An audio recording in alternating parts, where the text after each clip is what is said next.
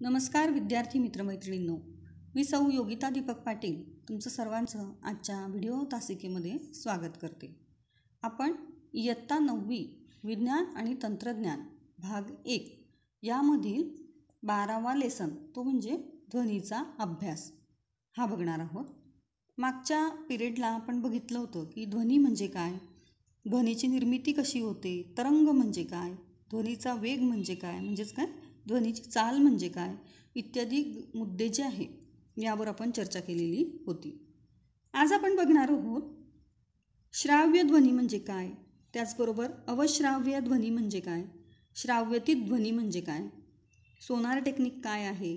प्रतिध्वनी व निनाद इत्यादी मुद्द्यांवर आपण आज चर्चा करणार आहोत.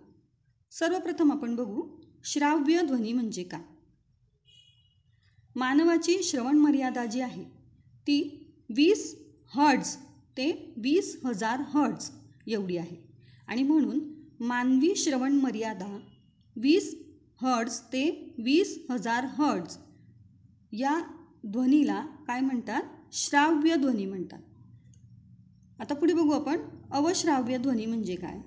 तर वीस हर्ड्सपेक्षा कमी वारंवारता असलेल्या ध्वनीला अवश्राव्य ध्वनी म्हणतात. म्हणजेच त्याला इंग्रजीमध्ये म्हणतात इन्फ्रासाऊंड आणि वीस हजार हर्ट्सपेक्षा जास्त वारंवारिता असलेल्या ध्वनीला श्राव्यतीत ध्वनी म्हणतात. त्यालाच आपण इंग्रजीमध्ये म्हणतो अल्ट्रा साऊंड आपल्याला अवश्राव्य ध्वनी व श्राव्यतीत ध्वनी ऐकू येत नाही. श्राव्यतीत ध्वनी म्हणजे अल्ट्रासाऊंड याचा उपयोग खूप ठिकाणी होत असतो. तुम्हाला परीक्षेमध्ये प्रश्नही विचारलेला असतो की श्राव्यतीत ध्वनीचे उपयोग लिहा. बरेच उपयोग आहे त्यापैकी तुम्ही चार ते पाच लिहिले तरी चालणार. समुद्रामध्ये जेव्हा एका जहाजावरून दुसऱ्या जहाजावर संपर्क करायचा असेल तेव्हा हे टेक्निक आपण वापरू शकतो किंवा हे टेक्निक जे आहे त्याचा वापर केला जातो. त्याचबरोबर प्लास्टिकचे पृष्ठभाग एकत्र जोडण्यासाठी सुद्धा श्राव्यतीत ध्वनीचा उपयोग होतो. दूध जे आहे या दुधामध्ये असंख्य जीवाणू असतात की ज्यामुळे ते दूध खराब होऊ शकतं. आणि म्हणून दुधासारख्या द्रवातील जीवाणू मारून टाकण्यासाठी याचा उपयोग होतो जेणेकरून ते जे द्रव आहे ते अधिक काळ टिकून राहील. त्याचबरोबर हृदयाच्या ठोक्यांचे तंत्रज्ञान. हे जे आहे इको कार्डिओग्राफी म्हणतात त्याला. तर यामध्ये सुद्धा याचा वापर केला जातो. त्याचबरोबर मानवी शरीराच्या अंतर्गत अवयवाच्या ज्या प्रतिमा आहेत या मिळवण्यासाठी या टेक्निकचा वापर होतो. उदाहरणार्थ सोनोग्राफी. कारखान्यांमध्ये यंत्र जे आहेत ते बऱ्याच वेळा आपल्याला स्वच्छ करता येत नाही. आणि म्हणून हे जे यंत्रांचे भाग जे आहे हे स्वच्छ करण्यासाठी सुद्धा अल्ट्रासाऊंडचा उपयोग होतो. शिवाय धातूच्या ठोकळ्यांमध्ये जर तडे पडलेले असतील किंवा भेगा असतील तर या दर्शवण्यासाठी सुद्धा श्राव्यतीत ध्वनीचा उपयोग होतो. अशा पद्धतीने असंख्य असे उपयोग आहे. पुढचा मुद्दा आपण बघणार आहोत ध्वनीचे परावर्तन. ध्वनीचे जे परावर्तन आहे याचे नियम व प्रकाश परावर्तनाचे नियम हे सारखे असतात. ध्वनी ज्या दिशेने जातो व परावर्तित होतो त्या दिशा परावर्तक पृष्ठभागाच्या स्तंभिकेशी सारखेच कोण करतात आणि ते एकाच प्रतलामध्ये असतात. इथे तुम्हाला आकृती पण दाखवली बघा. त्या आकृतीचंही निरीक्षण करायचं आहे म्हणजे तुम्हाला समजेल. तुम्हाला यावर आधारित एक प्रयोगसुद्धा आहे. तो प्रयोग वहीमध्ये दिलेला आहे. तो वाचायचा आहे.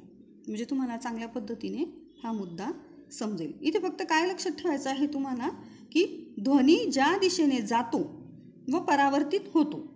त्या दिशा परावर्तक पृष्ठभागाच्या स्तंभिकेशी सारखेच कोण करतात आणि हे तिघं एकाच प्रतलामध्ये असतात.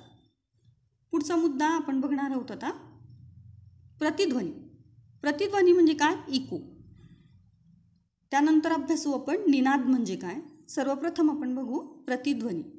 तर प्रतिध्वनी म्हणजे मूळ ध्वनीची कोणत्याही पृष्ठभागावरून परावर्तनामुळे होणारी पुनरावृत्ती. पुन्हा लक्ष द्या. प्रतिध्वनी म्हणजे काय? तर मूळ ध्वनी जो आहे या मूळ ध्वनीची कोणत्याही पृष्ठभागावरून परावर्तनामुळे होणारी पुनरावृत्ती. आपल्या मेंदूमध्ये ध्वनीचं जे सातत्य असतं ते सुमारे पॉईंट वन सेकंद राहतं. आणि बावीस डिग्री सेंटीग्रेड तापमानाला ध्वनीचा हवेतील वेग हा तीनशे चौवेचाळीस मीटर पर सेकंद असतो. आणि त्यामुळे या तापमानाला वेगळा प्रतिध्वनी ऐकण्यासाठी ध्वनीच्या स्रोतापासून अडथळ्यापर्यंतचे अंतर कमीत कमी सतरा पॉईंट दोन मीटर असावं लागतं. हे लक्षात ठेवा तुम्ही. अंतर किती असेल? सतरा पॉईंट दोन मीटर. ध्वनी तरंगाचे पुन्हा पुन्हा परावर्तन जर झालं तर ध्वनी तरंग एकत्र येऊन सतत जाण जाणवेल असा ध्वनी तयार होतो आणि याचाच परिणाम काय होतो मग? की ध्वनीचं सातत्य राहतं. आणि हे जे ध्व ध्वनीचं सातत्य राहतं यालाच म्हणतात निनाद. इंग्रजीमध्ये त्याला म्हणतात रिव्हर्बरेशन इथे आपण जर याचं उदाहरण पाहिलं निनादचं तर सतत किंवा बऱ्याच वेळा होणाऱ्या परावर्तनामुळे प्रतिध्वनी अनेक वेळा ऐकू येतो.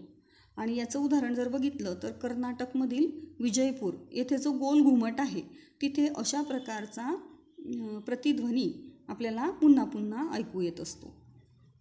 पण तुम्हाला इथे एक गोष्ट लक्षात ठेवायची आहे की सुस्पष्ट प्रतिध्वनी ऐकण्यासाठी ध्वनीच्या स्रोतापासून अडथळ्यापर्यंतचे कमीत कमी अंतर हे सतरा पॉईंट दोन मीटर असावे लागते.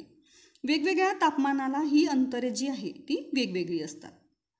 वटवाघुळाचं जर उदाहरण बघितलं आपण तर वटवाघुळे जो श्राव्यतीत ध्वनी तोंडाने काढतात तो समोरच्या पदार्थावर आपटतो आणि आपटल्यामुळे परावर्तित ध्वनी त्यांच्या कानांना ऐकू येतो. अशा रीतीने समोरच्या पदार्थाचे अस्तित्व आणि अंतर याबद्दलचे अचूक ज्ञान अंधारामध्ये सुद्धा वटवाघुळांना होत असतं.